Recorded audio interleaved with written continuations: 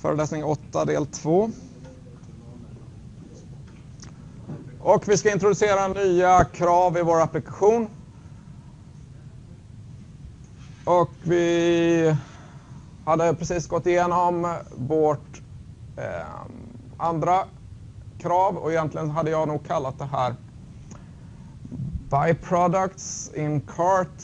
Jag hade nog kallat det faktiskt någon form av eh, create order eller dylikt. För nu plötsligt ska jag skapa en controller till här. Eh, och den kontrollen ska ta hand om just det här när användaren vill då skapa en order utifrån det han har lagt i sin shopping cart. Eh, och vi ser att den översta heter faktiskt Manage Shopping Cart och den andra heter Buy Products in Cart. Och jag har sagt vid några tillfällen att kontrollers och användningsfallen kan man koppla till varandra något. Och nu har vi så fint döpt, döpt vår till eh, byproducts.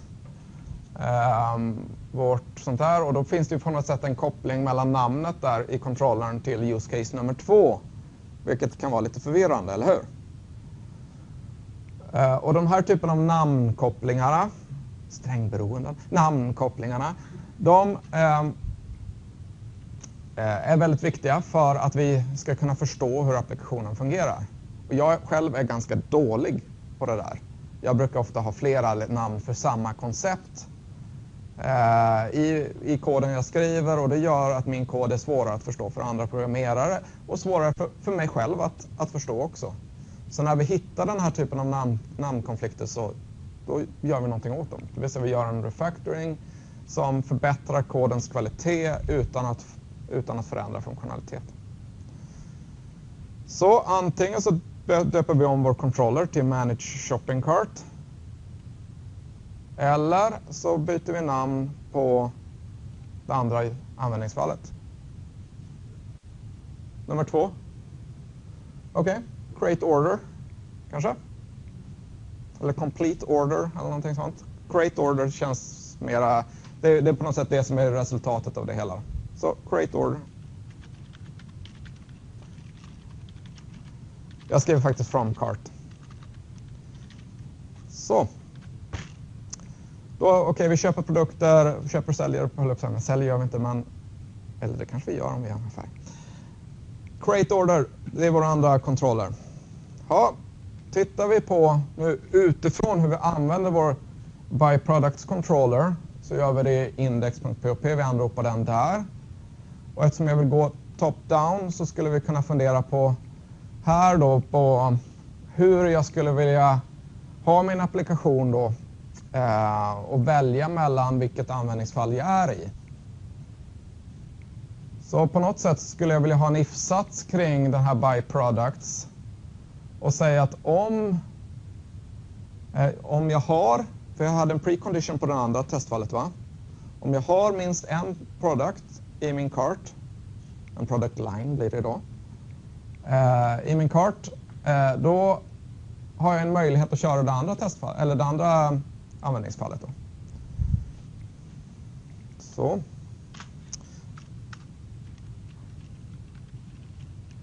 Så här, if... Ah, nu skriver jag bara still buying stuff.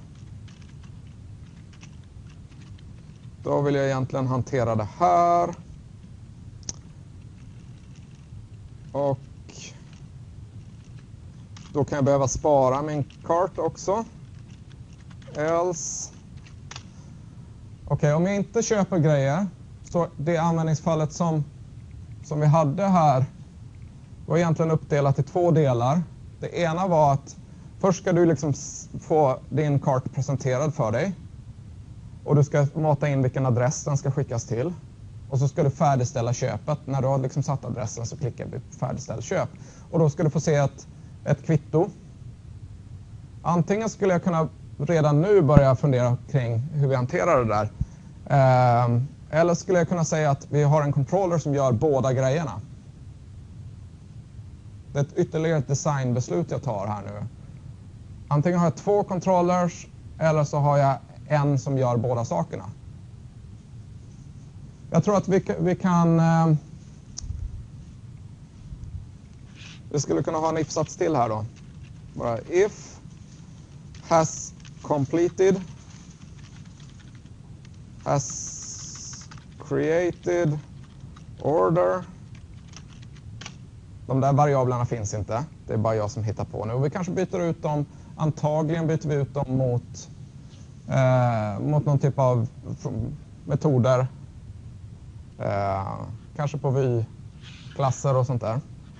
Om vi har skapat en order, då skulle vi vilja att en eh, order, eh, order controller show receipt. Någonting sånt där kanske. Else order controller Ja, vad vill vi att den ska göra då? Jo, vi skulle vilja att den eh, skapar en order. Create order.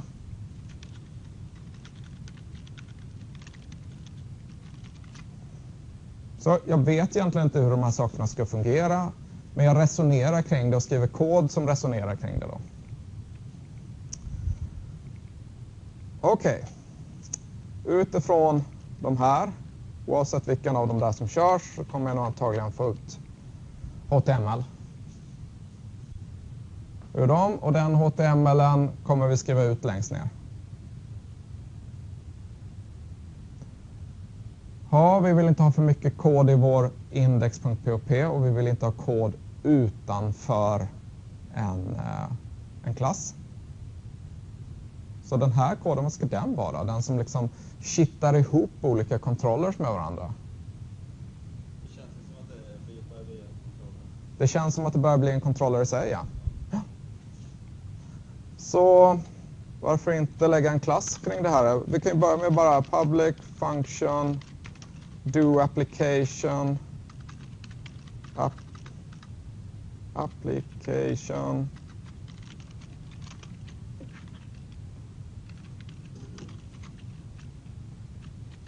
Så. Uh, ja, varför inte lägga en klass runt den funktionen då? Och vad ska vi kalla den? Application controller kanske?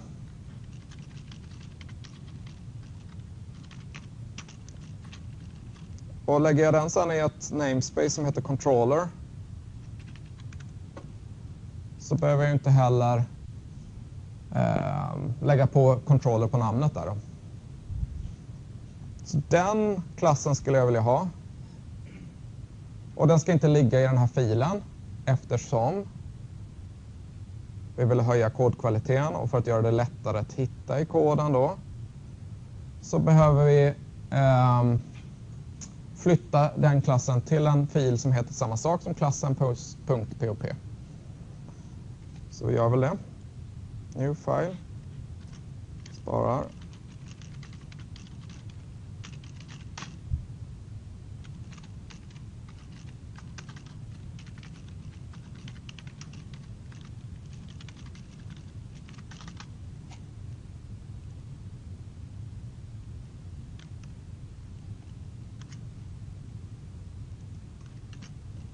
Så. Den här behöver nu ha tillgång till en massa saker, till exempel den här product list, cart, som vi skapar upp i index. Och istället för att ha då de där index, public function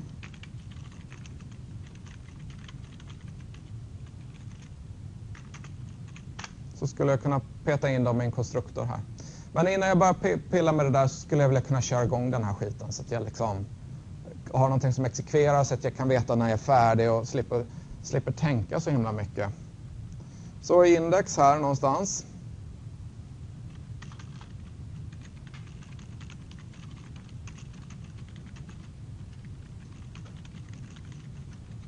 Upp. Ska ha en sån också.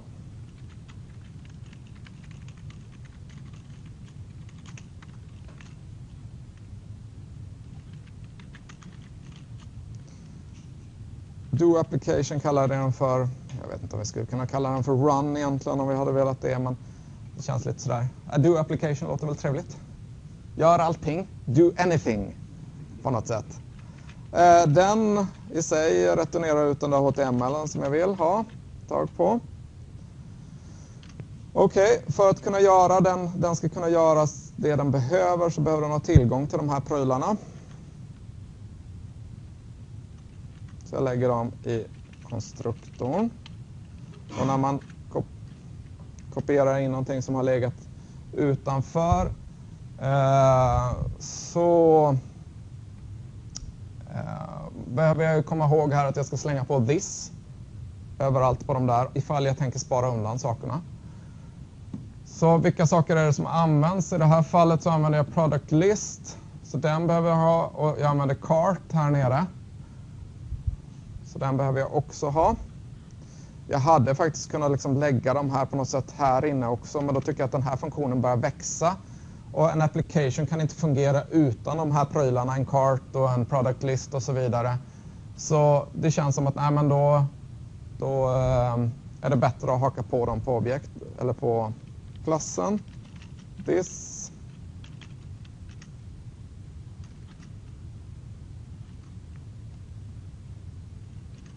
Vi behöver ha en cart där också. Cart saver load. Ja, vi behöver säkert ha själva cart savern också. Um, yes. Nu ska jag väl göra ett erkännande här. Nu har inte jag gjort de här eh, privata variabler. Och faktum är att faktiskt applikationen fungerar nu. Eller det, det tror jag inte att den gör, det kraschar säkert. Men vad jag menar är att enligt POP så behöver man faktiskt inte deklarera en, en medlemsvariabel för att kunna haka på den på ett objekt. Utan jag kan faktiskt skriva så här. This peel product list lika med product list. Lika med new product list. Och då kommer det skapas en medlemsvariabel som är publik. Men den medlemsvariabeln är ju inte dokumenterad då vilket gör att den är svårare att förstå den här applikationen. Den blir även publik. Så för att gömma den här variabeln för den som använder application då, om han börjar ins inspektera application under runtime så kommer han se att det ligger en massa publika variabler där som han kan försöka manipulera. Så lägger jag de här.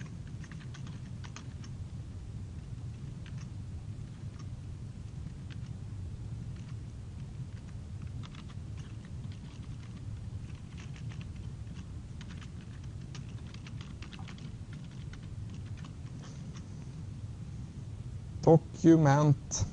Det blir något mellanslag mellan svenska och engelska där. Så vi sparar dem. Uh, ja, men det här ser hyfsat ut. Den här return HTML. Eftersom det inte är självklart att den här do application returnerar någonting så det låter inte riktigt så på namnet. Dokumenterar jag faktiskt den biten. Jag har säkert glömt en massa olika grejer men vi bara testar att eh, nej det ska vi inte göra för den där så självklar. Den har vi bara hittat på. Den finns ju inte någonstans. Så vem ska veta ifall jag håller på att eh, köpa saker fortfarande? Vem borde ha det ansvarsområdet? Hur tänker vi oss att det går till när jag går ifrån en, från, från det ena eh, användningsfallet till den andra och vem ska hålla reda på det? På något sätt så känns det som att i kartan någonstans så finns det liksom complete eller köp de här prylarna nu. Eh, gå till kassan. Det brukar inte stå så. Kassa, till kassa. Whatever. Så vi kanske skulle kunna fråga Cart View för det är ju den som skapar den där. Det, kan jag gå till dig? Eller be, be, eh, håller vi fortfarande på att köpa den här saken? Så CartView hade ju varit en, en intressant kandidat för det här. Sen är ju frågan då om CartView, om vi tänker på rent tekniskt hur det skulle gå till, så skulle CartView antagligen behöva haka på någonting i URLen. För när vi eh, Ja,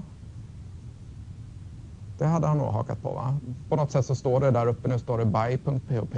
Eller det gör det nog inte men det står liksom okej. Okay. Create order kanske det står uppe det. Så vi har ju den här navigation view också som också skulle kunna ha det ansvarsområdet. Eh, navigation handlar ju om på något sätt hur vi navigerar mellan olika vyer. Så okej, okay, vi kanske inte behöver fundera för mycket. Den här cart view kändes ganska bra i magen från början. Navigation är ett ganska luddigt koncept just nu.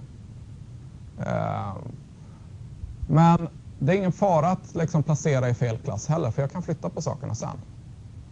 Och jag brukar låta beroendena i koden leda mig till var koden i slutändan placeras. Och skapar jag funktioner så ser jag vilka beroenden har den här funktionen till den klassen som jag är i. Vilka strängberoenden finns det? Vilka krav finns det för just den här koden? Och så kan jag faktiskt flytta koden sen efteråt. Det är bara att ta den där metoden och flytta till en annan klass och anropa den istället. Vi kollar cart view. Skulle den här kunna hantera det här? Ja, den genererar, i alla fall HTML för vår cart. Så den skulle väl kunna hantera det också då. Någon form av eh, länk här då kanske. Eh, efter den där HTMLen. Kanske skulle vilja ha ja, till och med på slutet här nu efter den knappen där hade inte det varit... Eh, vad, ska vi kalla, vad heter kassa på engelska? Cashier. Check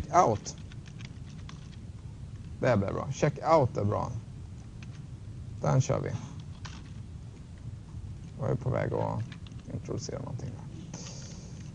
Check out lika med AHRF lika med fnutt fnutt.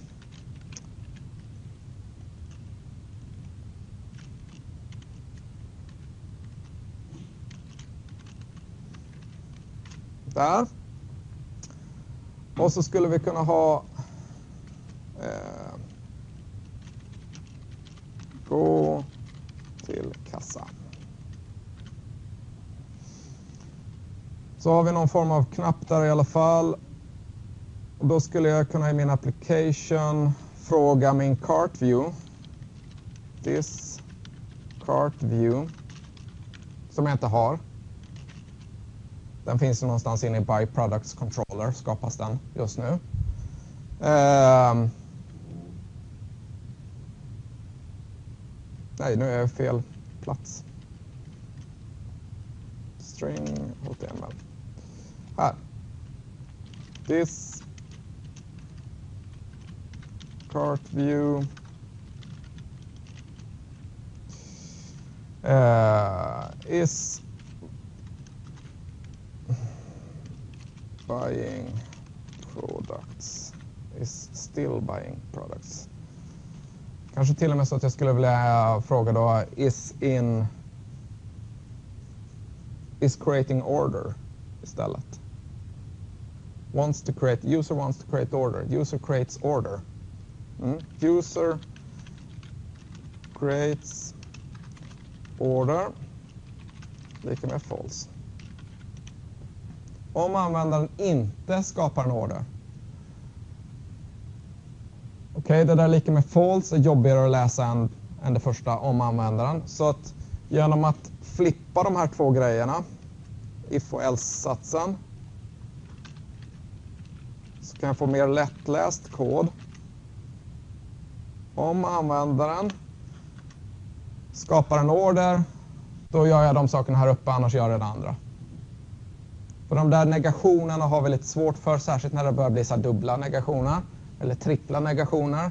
Så börjar folk förlora räkningen. Um, Okej, okay. ja, men det där funkar. Vi tar en cart view, den vill vi ha här ute istället nu.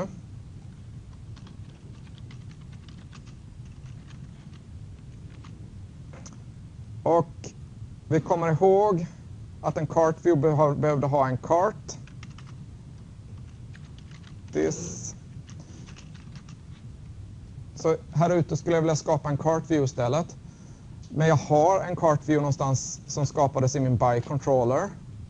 Då kan det vara lite dumt att skapa en extra av den anledning som vi pratade om tidigare där, att då får jag faktiskt ett nytt cart view-objekt om det har tillstånd, till exempel en medlemsvariabel eller dylikt. Eh, så är det inte så bra. Så vi kan väl kolla hur vår byproducts Forcing sin cart view. Är det bara jag eller är den odokumenterad? Det är den. Den får sin cart view genom att skapa den utifrån kartan och en product list view.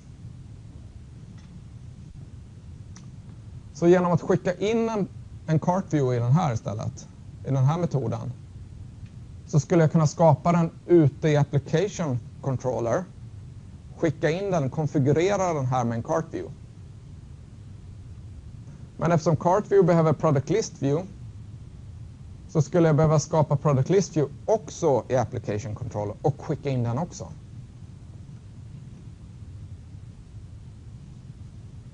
Är ni med? Så för att skriva om de här grejerna så behöver vi alltså haka på de här. View Cart.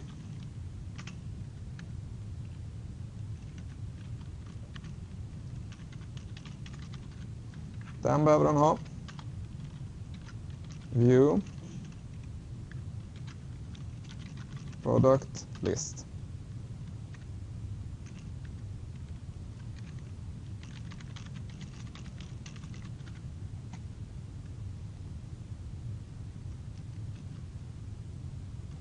Den behöver ha den.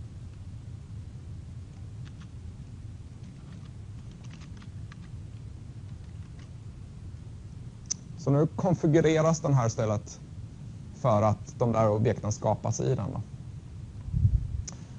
Och det här att skicka in byggstenarna för den här kallas för dependency injection. Det vill säga att jag skjuter in beroendena i klassen. Eh, så. När jag nu skapar min byproducts här nere, en instans av dem, så behöver jag skicka med dem där också.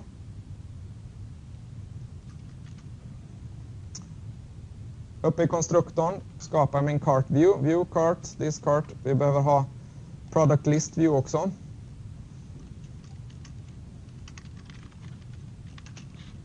Lika med new view product list. Och den product list, den hade ingen konstruktor om jag minns det, eh, minns det rätt. Eh, den använder sig av en product list i den där metoden och den använder sig av en product list här nere. Den borde kanske ha, få den här product listen i sin konstruktor. Jag vill inte göra det just nu. Men jag ser att det borde göras. To do add construct with product list parameter. Så. Ja, jag skapar en sån, skickar in den där.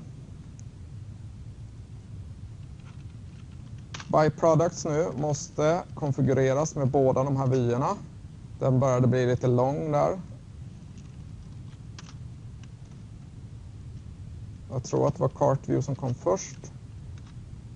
Men eftersom jag har typsäkra argument så kommer kompilatorn eller interpretatorn att kontrollera det åt mig så jag behöver inte kolla det själv. Okej, okay, nu kan vi fråga CartView. User creates order. Den finns inte i CartView ännu. Så därför lägger jag till den. Public function user creates order.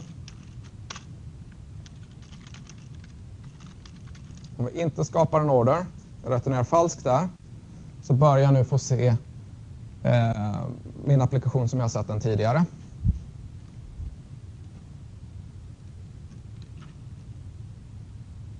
Förutom att jag har den här gå till kassan också.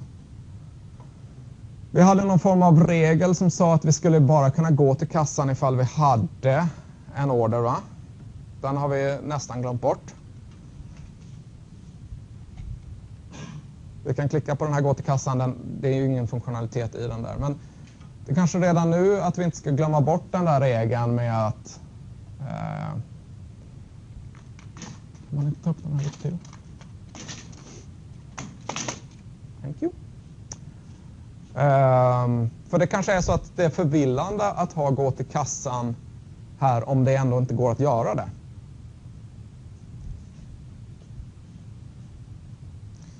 Och vad ska hända egentligen om man klickar på gå till kassan eller nu manipulera URLen till någonting som, som create order när vi inte har några produkter?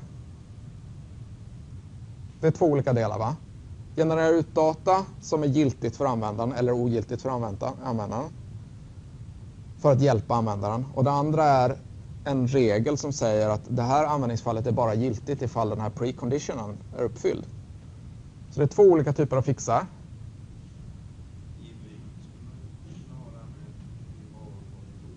Mm.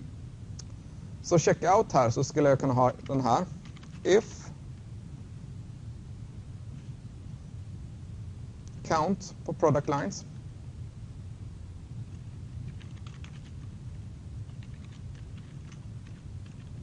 Större än noll. Else.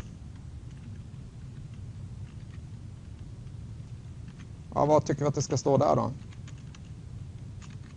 Man skulle kunna ha en sån här, gå till kassan som inte är en länk liksom. Det, det hade ju fungerat. Då står det gå till kassan där, men vi, det, vi går inte att klicka på den.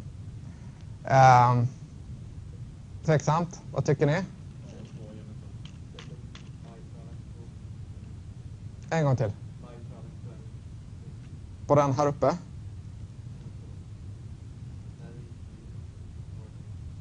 Så att den ser ut som en länk fast... Jaha, tvingar, tvingar dem att köpa saker. Ja, eh, vi, vi, hade kunnat eh, lösa det på diverse olika sätt. Vi kan säga så här, inga produkter i varukorgen. Så. Så får vi i alla fall, vi kan ju testa att det fungerar, så kan vi dividera kring... Så vi har inga produkter där, vi lägger till en produkt, den finns där. Ta bort den. Inga produkter i varukorgen. Så nu har vi i alla fall en möjlighet att ta oss till det här användningsfallet. Och eh, vi ska ha den andra biten också då. Ifall vi försöker ta oss till det här användningsfallet eh, genom att manipulera URLen så bör vi ha någon typ av koll på att det inte fungerar. Så vi skulle ju kunna säga så här då att om användaren creates order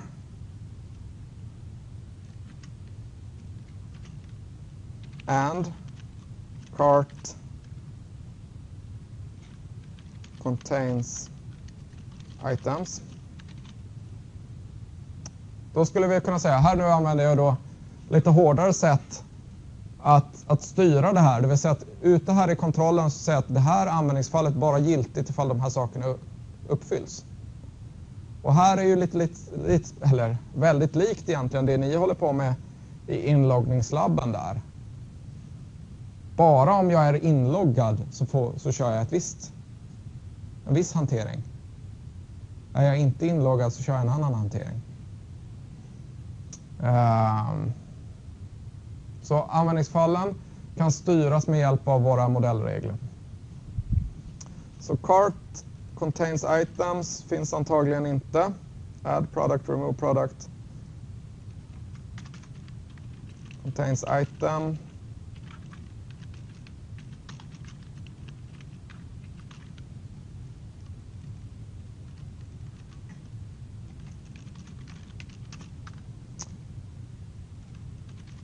Count, product lines, större än noll.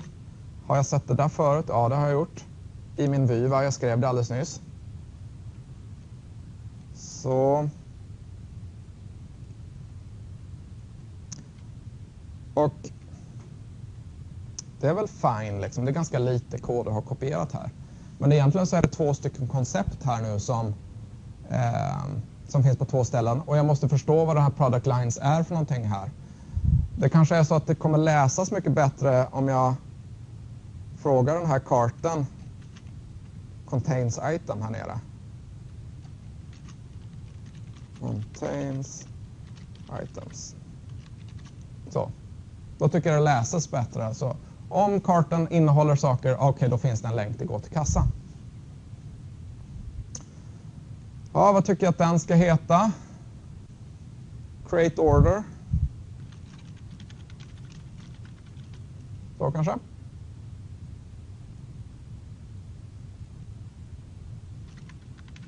Kassan. Create order. Det här känns ju som någonting som min kund kommer klaga på.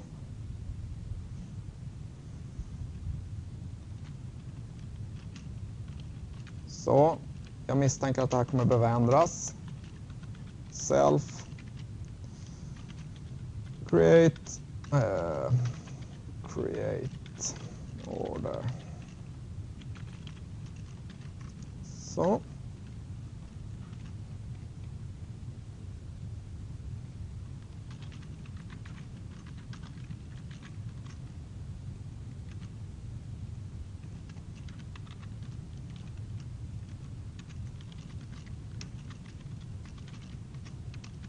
Så. Create order, self create order. Om is set.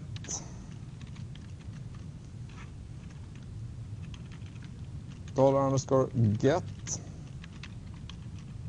Create order. Ja, create order bör väl ha någon, innehålla någonting, inte action success, utan Eh, create. Ah, jag, jag, kallar det för samma sak. Så. Och det är sparat. Då hoppar vi tillbaka och testar lite granna. Laddar om den utan några produkter. Lägger till en peach. Jag har en sån länk. Jag klickar på den. Det kommer upp create order där uppe. Vi hade nog förväntat oss faktiskt att komma in och få ett felmeddelande. Eller hade jag i alla fall. Uh, vi bara se vad som händer här om jag nu... Ja, så det där verkade funka i alla fall. Men varför fick jag inte en... User, jag hade inte sparat den här. Det kanske var det då. Köper en produkt, går till kassan. Jag tycker att jag borde få ett felmeddelande men får det inte. För, och felmeddelandet jag vill ha det är ju det här has created order. Det har jag inte hunnit skriva än.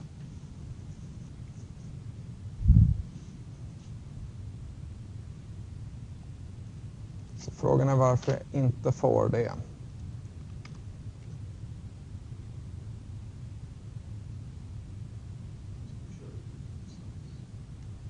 If cart view user creates order. Ja, men vi kan kolla i den där cart view.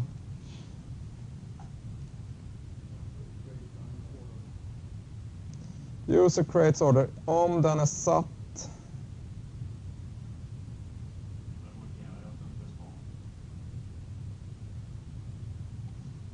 här uppe. Ja, men det är en liten eh, stjärna när den inte sparar. Så där ser det ut. Den här lilla prylen. Mm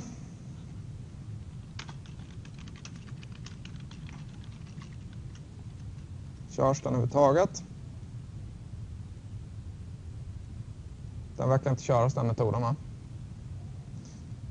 Det är lite farligt den här. För att den där tenderar man ju att glömma. Så vill man ha kvar den här nu en liten stund så kan man ge ett namespace på den så att man hittar den sen. Så är det väldigt lätt att veta varifrån någonstans den här kommer. User creates order anropas inte. Ehm. Kan det vara så att den här inte sparad, den kör inte koden alls i application? Det kan nog vara så att vi har skapat, liksom hela tiden kört utanför application. Ja, titta så. Controller application. Vi hade inte sparat index.php. Så det där med att spara alla filer är en, en rätt bra grej ibland. Eh, jag har en tendens att missa det, i alla fall här på föreläsningarna. Den vet inte vad application är.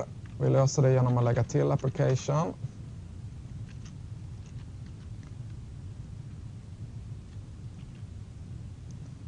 Jag vet inte vad en cart saver är. Uh, application line 21. Det är för att jag sparar undan en kartsavern för att kunna använda den här nere. Och jag har lagt den i this, men jag har inte frågat efter kartsaver i this. Nu, user creates order foo står det där uppe. Vi anropar nu koden. Uh, jag brukar kalla den där det typen av test för uh, sanity test av koden. Jag fattar inte vad det är som pågår. Jag lägger till ett sanity test för att veta liksom vad det är som pågår egentligen. Och det brukar ofta vara sådana saker som vi hade nu idag. Då. Eh, när jag bara kör den här så säger jag för undefined variable cart, application Rod 50. Och det misstänker jag är att jag försöker spara den kartan där som ligger i this.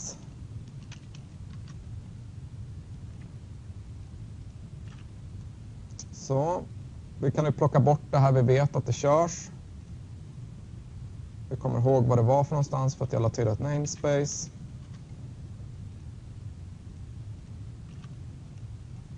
laddar om den. Jag har en peach där. Okej, okay, jag får rätt felmeddelande. Det jag förväntade mig. Eh, jag skulle egentligen vilja bara testa en grej till. Kopiera länkadress, klistra in. Och jag ser att create order haka det på. Jag hade en produkt där. Jag skulle vilja ta bort den produkten först. Och sen klistra in den här URLen. Just det, för att testa att jag verkligen, jag kan inte komma till det användningsfallet om jag inte har en produkt i min varukorg. Det var det jag ville kolla. Okej, okay, jag köper produkten, går dit. Okej, okay, nu vet jag att jag kan börja fixa de här sakerna. Has created order.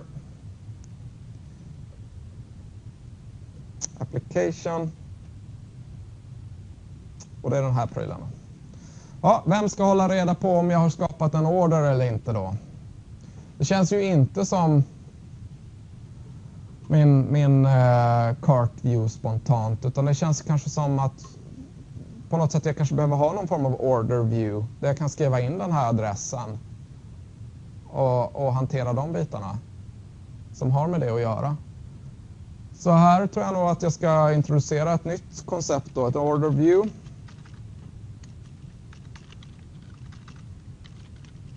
Den får ansvarsområdet att, att berätta uh, user wants to user has completed order. Där någonting. Om användaren har completed order uh, då ska jag köra show receipt på order controllern som antagligen bara använder order viewn så behöver jag ha min order controller för att kunna göra det.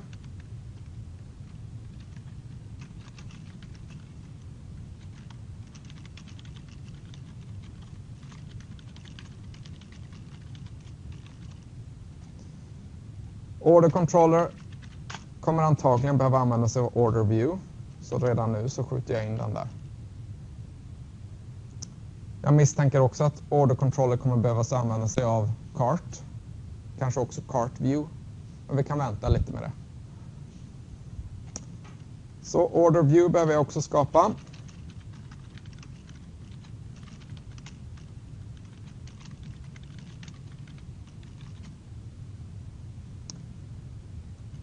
Yes.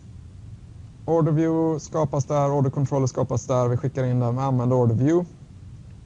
Och nu börjar den här kännas så färdig att vi skulle kunna börja skapa själva klasserna.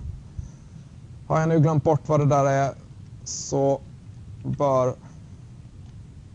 felmeddelandena leda mig rätt nu. Så nu kan jag följa dem. New file. Spara som orderview.pop. POP. Namespace view class border view. Eh, vi ska inkludera den i vår application.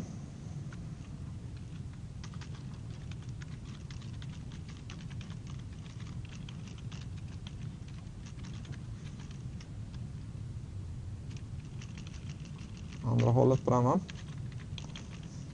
POP.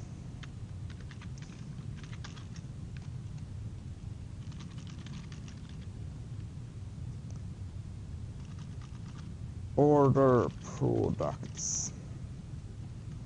Kom vi just på att det kanske var ett bättre namn. Order products.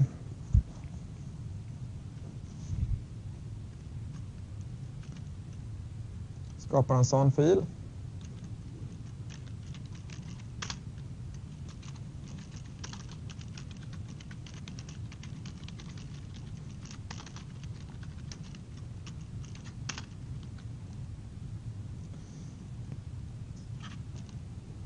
Ja, order view finns inte.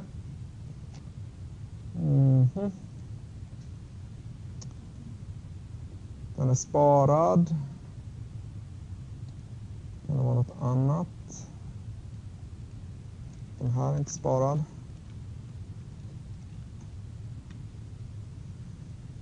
Eh.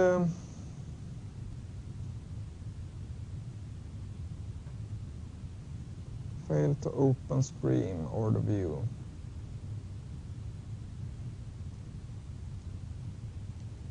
Jag kollar var de andra ligger. Aha, titta här, vi hade någon source. Också. Måste haka på.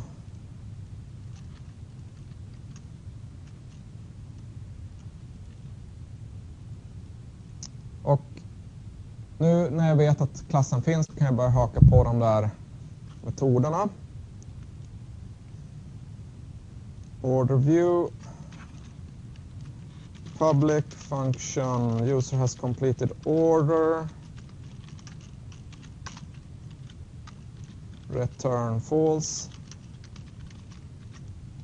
Jag vet inte riktigt än hur det där ska gå till så därför delayar jag det beslutet. Delayar, bra svenska, eller hur? Skjuter jag upp det beslutet.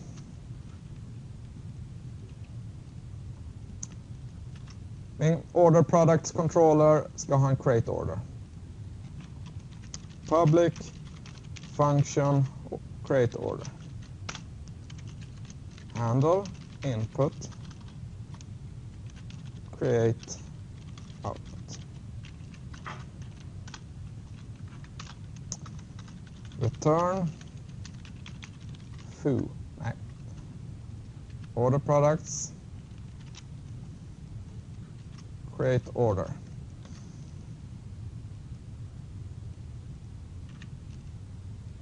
Okej, okay. så rätt kontroller anropas. Rätt rad i den. Okej, okay, vad är det då som ska ske här då? Jo, man ska kunna mata in en adress. I den här. Vi ska kunna visa upp vår kart. Show cart and address form på något sätt.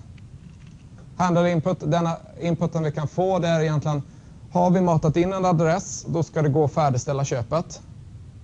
Har vi inte gjort det så ska man kunna mata in, eh, mata in adressen. Så, så if view this view kanske till och med has address.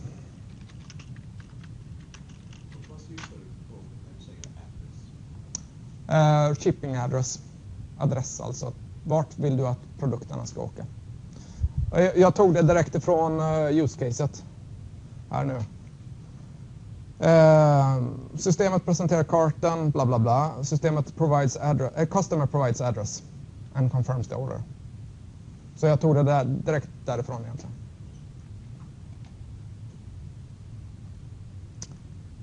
Uh, ja. Order product, om vi har uh, om vyn har en adress så kan jag väl hämta ut den adressen lika med uh, this view get address.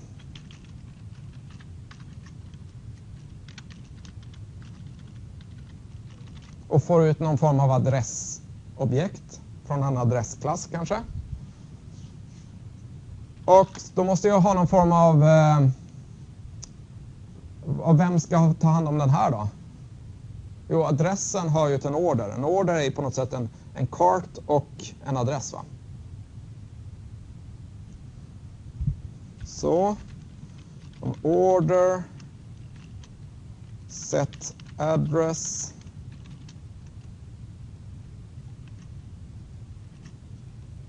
Så. Um. Ja, det var väl den ena biten. Den här orden kan man ju också börja fundera på hur ska vi hantera den orden? Den, på något sätt kommer den ju vara i något pseudotillstånd ända fram tills eh, användaren säger att jag vill, jag vill eh, färdigställa det här köpet nu. Den här orden vill jag skicka iväg. Fram till dess är den ju lite som kartan. Visst är den? Den är ju lite som en... Eh, vi, vi, kan manipulera den här adressen fram och tillbaka och ladda om sidan några gånger och lite sånt där. Men vi vill att ordern, den, den ska vara kvar. Och den ska innehålla den där kartan. Så frågan är om inte vi ska ha en medlemsvariabel eh, i order products-klassen som hanterar den här, ett objekt av order-klassen. Så, this order kanske set address. Sen hade vi ju en bit till då om man vill färdigställa köpet då. If this order has address. Om vi har en adress. Och this view user completes order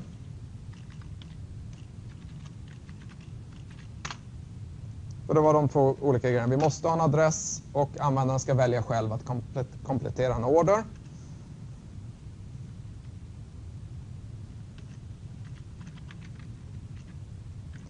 Då kanske vi skulle ha något ytterligare koncept. För vad ska, vad, vad ska hända med en order? Den ska sparas undan för framtida behandling. Eller hur? Så vi skulle kunna hitta på något koncept då som, som sparar undan de här ordrarna. Typ en eh, orderkatalog. Orderkatalog.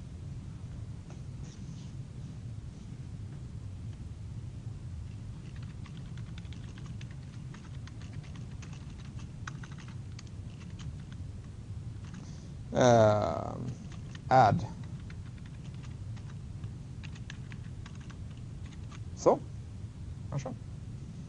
Det var något mer som skulle hända om den där hamnade i en, eh, en orderkatalog så ska jag faktiskt plocka bort min kundkorg också.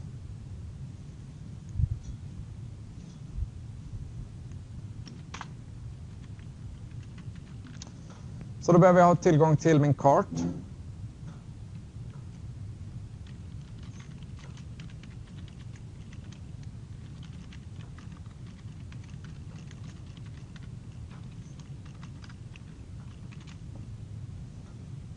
Remove all items. Sen är ju frågan vad ska hända då? För då ska vi se det här eh, kvittot här. Du ska få någon form av konfirmering och något, något kvitto ska visas här. Och det har inte jag riktigt tänkt på. Nej, nu är jag ute. Application va? Det hade vi ju, den hanteringen hade vi ju här va?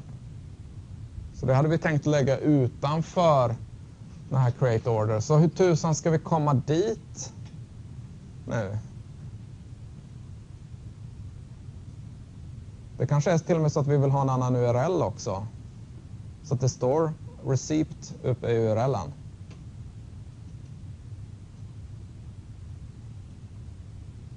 Det kanske är så att vi vill ladda om sidan då och göra en head location historia.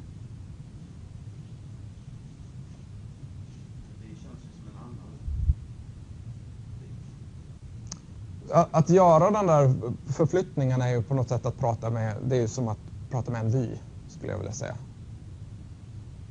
Så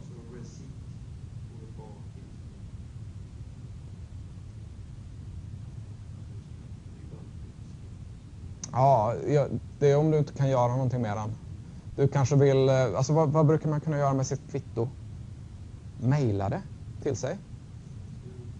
Skriva ut eh, få det i ett utskriftsformat och det kanske också finns kontrollervärden där så att som vi vill kunna göra med ett kvitto. Eh, så, så därför använder jag inte bara order view här. Nej, där. Eh, utan utan jag, jag kanske tänkt för långt. Jag hade fått använda min order view här. För jag är i en controller och en controller får använda vyer för att lösa sin uppgift. Yes, så genom att, att bara hitta på saker så har jag en väldigt stor eh, frihet att designa. Men när jag designar på det här sättet så kommer jag komma till de här tillfällena när jag inte vet riktigt hur saker och ting fungerar. Då måste jag ta ett steg tillbaka, hoppa ut här till application controller och inse att ja, från den här platsen, create order, om man nu klickar på att färdigställa köpet, då, då borde jag komma dit istället. Eller är det så att när jag klickar på den här färdigställa köpet så kommer jag komma in has completed order. Och då kanske det i den här ska vi hantera liksom det jag nyss skrev kod för i den här prylen. Men jag tror vi ska köra den här reload-historien. Så för, för, att kunna ladda om det här så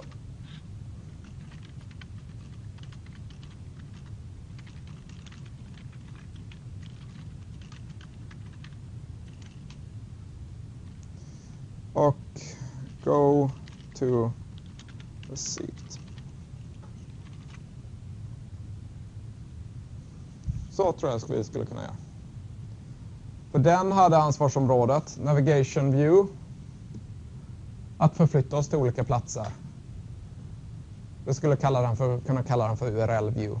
Eventuellt så när den här applikationen växer så kanske den här måste samla alla typer av URLer.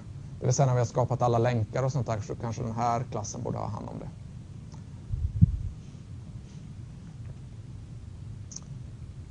Ja.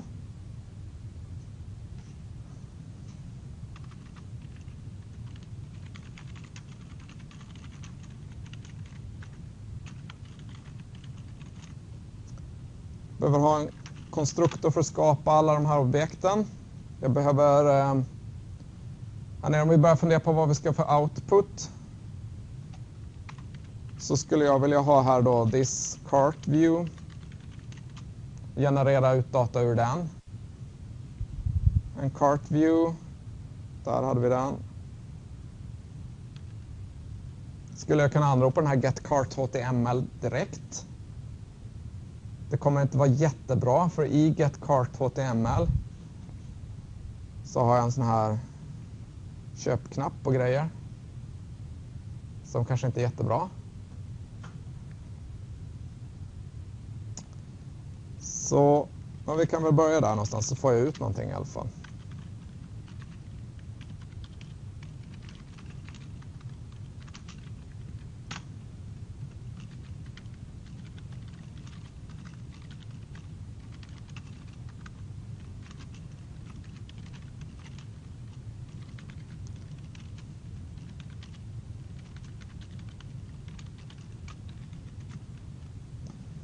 Tänker mig ta ut både den här kartan, adressformuläret och sen slå ihop dem på något sätt.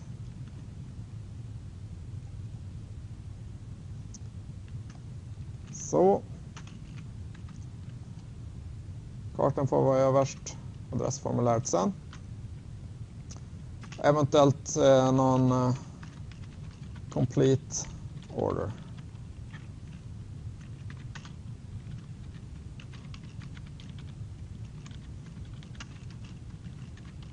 This view get complete order button. Ja, jag vet inte. Complete order Ja, men det blir väl bra. Så. Så nu har vi en plan och den här planen kommer leda oss in i den liksom mer specifik, eh, specifika implementationen. Men vi har nu kodat i två timmar ganska oavbrutet. Ni börjar känna er rätt mosiga i huvudet. Eh, så vi tar det nästa vecka. Det vi har sett idag då, det är att för att kunna lösa flera användningsfall så kan vi introducera flera stycken controllers. För att välja ut vilken controller som ska köras så ja, men det är bara ett par if-satser. Och jag kan behöva ha en, någon form av master controller som den här. Som då håller reda på vad det är som ska köras. Vi har också gjort refactorings, det vill säga en omskrivning av kod som inte förändrar funktionaliteten. För att till exempel för, förbättra kodkvaliteten eller ta bort dupliceringar av kod. Ehm, vi har funderat lite grann kring ansvarsområden. Var ska vi placera kod? Vi har kodat top-down. Inte så illa pinkat. Tack så mycket för idag.